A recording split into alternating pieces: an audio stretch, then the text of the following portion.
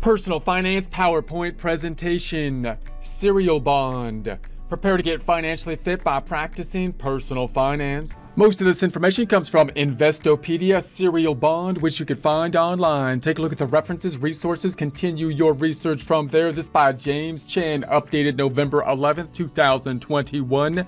In prior presentations, we've been taking a look at investment goals, investment strategies, investment tools, keeping them in mind. We're now asking, what is a serial bond?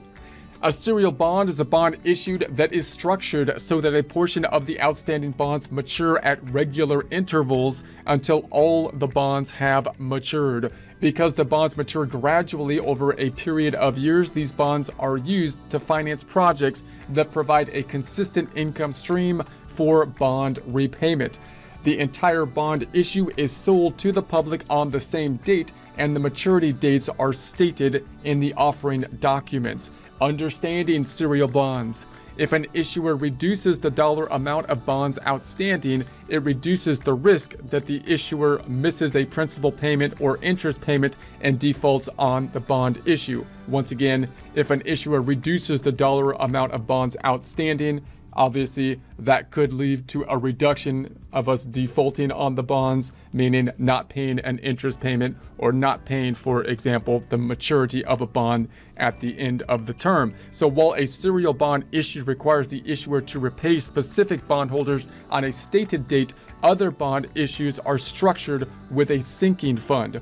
So a serial bond structure is a common strategy for municipal revenue bonds because these bonds, so we got the municipal revenue bonds because these bonds are issued for free, uh, fee generating projects built by states and cities. So we got the municipal bonds, we got these are types of basically government bonds, state and local uh, types of bonds, and those could be used in order to construct things. They could have fee generating projects, and that could be a good basic structure for this kind of serial bond construction in order to finance the, the, the creation.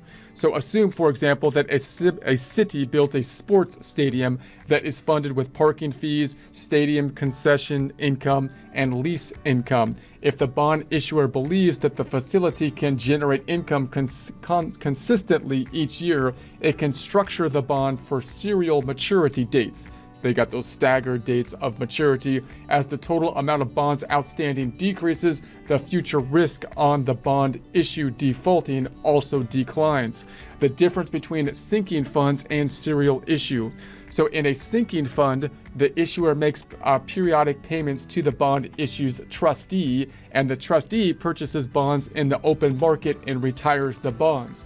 So in that case, you might have a sinking fund that's going to be set up so that when the maturities are going to come up, remember how the bonds are kind of typically structured. You've got the end date, the maturity date where you pay back the principal. It's different than a loan type of structure for our mortgage, where we basically pay back installments of equal payments, in essence, which have an interest and principal component to them.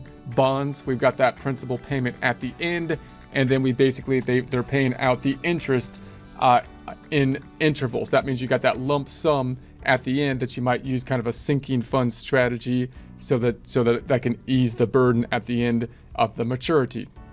So the trustee represents the interests of the bondholders and must use the sinking fund payments to buy bonds and retire them. So if they have the sinking fund, then they're going to have the payments in order to pay off the bonds at maturity, or they can use the sinking fund to buy back their own bonds from uh, from the market uh, before maturity. Instead of retiring bonds according to a specific schedule, the trustee purchases bond from any bondholder who is willing to sell his holdings.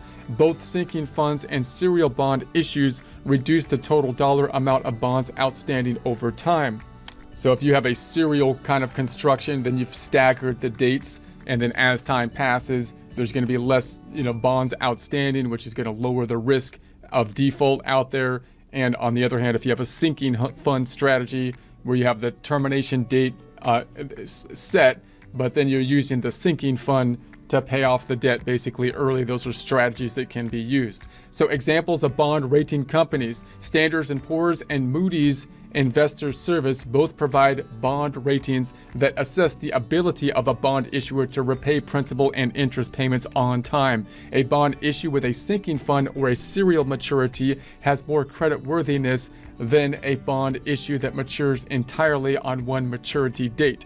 So once again, the, if we're thinking about the rating agencies, obviously when we're issuing the bonds, the, whoever the issuer is would like to have the rating as solid as possible because that would mean that they can issue the bonds at less uh, interest, paying less interest on it. So if they can put together strategies to bo- boost up their bond on the ratings, that would be good. So a bond issued with a sinking fund or a serial maturity has a more creditworthiness than a bond issued that matures entirely on one maturity date. That could be good for the credit scores. So if, for example, a serial bond for a $10 million stadium bond misses bond interest payments 15 years after the issue date, a certain dollar amount of bonds are already paid off before year 15. Because fewer bonds are outstanding, the issuer may be able to recover financially and pay the interest payments that were missed.